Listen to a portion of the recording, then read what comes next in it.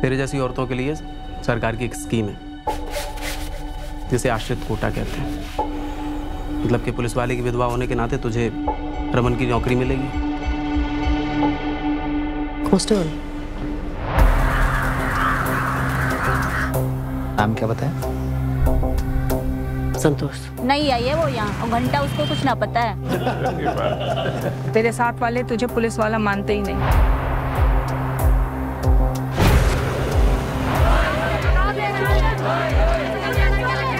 Devika people उम्र चौदह पंद्रह साल माता पिता राम पीपल रानी पीपल लालीपुर गाँव में मजदूरी करते हैं।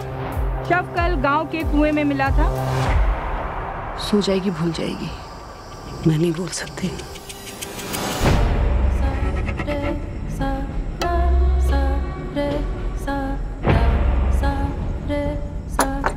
किसी न किसी को तो अंदर डालना ही पड़ेगा।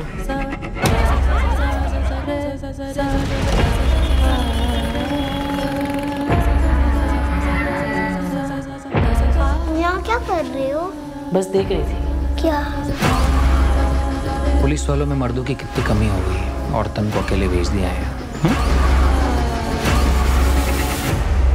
सांस ले सांस छोड़। सांस ले सांस छोड़। पर लोगों को सच्चाई तो पता होनी चाहिए ना।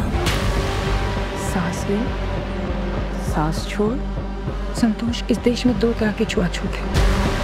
एक वो जिसे कोई छूना नहीं चाहता। और दूसरा वो जिसे कोई छू नहीं सकता।